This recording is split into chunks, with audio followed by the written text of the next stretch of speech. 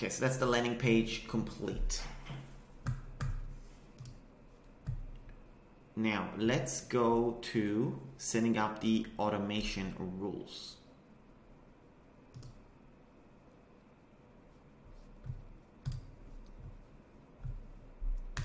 So you want to click on this one, which is basically when somebody enters the name and email, what do you want to have happen?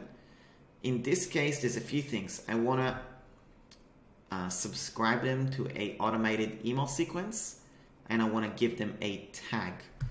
And yeah, that's what I want to do. Now, to do that, I need to first go to tags.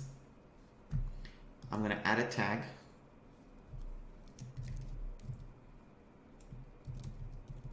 and I'm gonna call it um, YouTube SEO checklist lead. I like to label a lead whenever it's a lead magnet. And then I'm gonna go to campaigns and I'm gonna call this YouTube SEO funnel. This is the funnel to sell my YouTube SEO training from lead magnets checklist to um, beginner's guide and. Okay, so that's that.